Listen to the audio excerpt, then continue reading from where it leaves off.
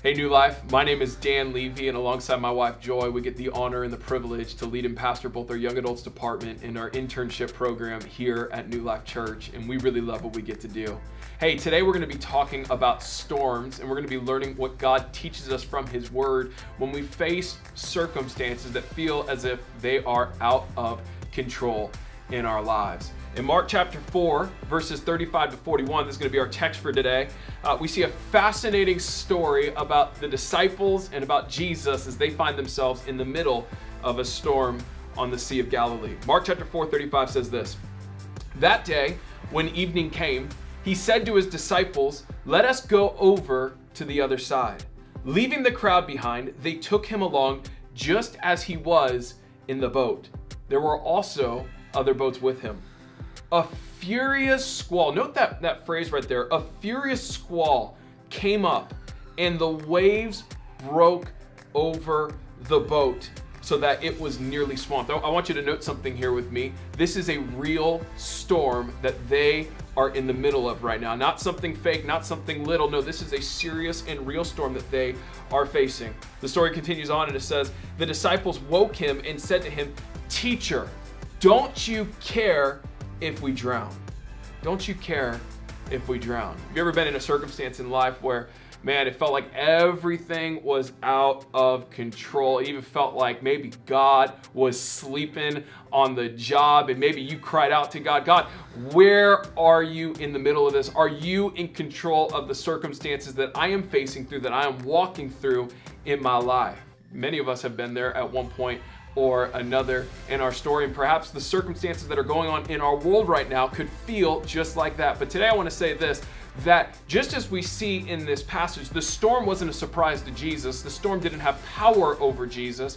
No, just as we're walking through these circumstances in our world right now, coronavirus was not a surprise to God, right? It was not a surprise to God whatsoever. He foresaw this, he knew about it, and he is in control. C- continuing on with our passage, he got up, rebuked the wind, and said to the waves, Quiet, be still. Then the wind died down, and it was completely calm. He said to his disciples, Why are you so afraid? Sit with that, that word for a second. Why are you so afraid? Do you still have no faith? They were terrified and asked each other, Who is this? That even the wind and the waves obey him. A couple couple points that I, I really want to draw out from, from this passage is we need to first off, we need to be like the disciples in this, that when we have fear in our lives, we need to run to Jesus. The disciples ran immediately to the stern of the boat and they expressed their concern to him. Teacher, where are you in the middle of this right now? Maybe there's fears in your life right now surrounding anything. I want to encourage you in this season, bring your fears to Jesus. You can be you can go to Jesus knowing that he will hear your fears with concern and care for you in your life. But the second thing I want to say is this that even when circumstances feel as if they are out of control in your life, never let the presence of your storm cause you to doubt the presence of your God.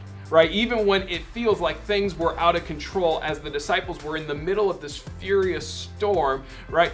They ran to Jesus. And in our lives, we need to run to Jesus knowing that He will listen to us, He will answer our requests, He will be with us in the middle of the storm. They knew He was in the middle of the storm with them in this story. The other piece about this that I want to draw, a third thing, is notice the difference in this passage between the disciples and Jesus, right? So we're, called to bring our cares to Jesus. First Peter would say it this way cast your cares upon him, for he cares for you, right? Instead of carrying your problems, cast your fear, cast your stress, cast your anxiety onto him because he cares for you. The disciples do this, but the disciples have to go a step further. They also have to learn how Jesus is. We're called to be like Jesus after we cast our cares upon him. And notice Jesus. Jesus wasn't afraid. Jesus wasn't terrified. He wasn't in a panic over everything, the storm, the real threat of the storm that they were facing. No, he was so much so at peace that he was sleeping in the boat. You know, I want to be like Jesus in my life that no matter what comes and takes place in my story, whatever I face in my life, that whenever those things come, I want to be like Jesus where I exist in perfect peace in the middle of the storm. The disciples were terrified, frantic, running around, but Jesus was asleep. Why? Because he trusted in his heavenly Father. He trusted in his heavenly Father.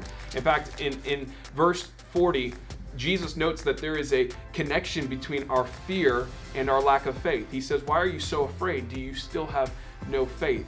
I'm convinced today that great faith in our life also equals little fear in our life. And often, when there is great fear in our life, it is also the evidence of little faith in our life. And so we have to constantly go back to Jesus and bring our fears to Him, cast our cares upon Him, and He will infuse us with faith in our lives. And I, I want to note that this is so important to do in this season of life right now as everything feels like it is spiraling out of control we need to know that there is a God on the throne in control of everything, and we need to live our lives from that reality.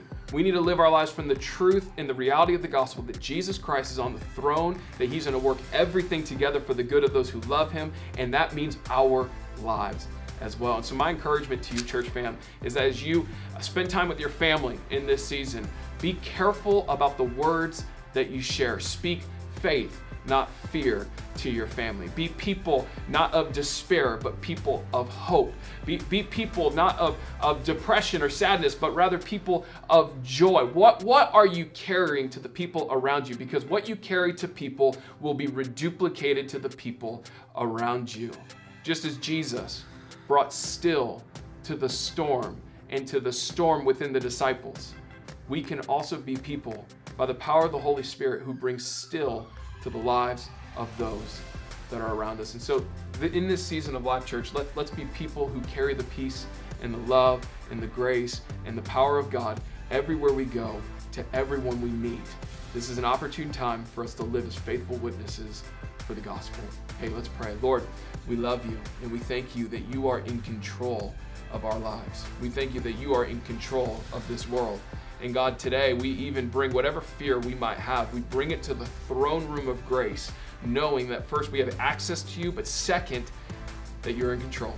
And so, God, I pray that you would bring resolution in this. God, that you would bring strength to us. And God, I pray for opportunity to be faithful witnesses of the gospel, that we would be carriers of your peace, not carriers of fear, carriers of hope, not carriers of despair, carriers of love, not carriers of hate, that we would be carriers of the culture of heaven as you download the attributes of yourself into us. May we be carriers of those realities. We love you so much, God. I pray for each and every one that's listening to this right now, and I speak blessing over them in the mighty name of Jesus, protection over their house, and fruitful opportunity for the kingdom of God.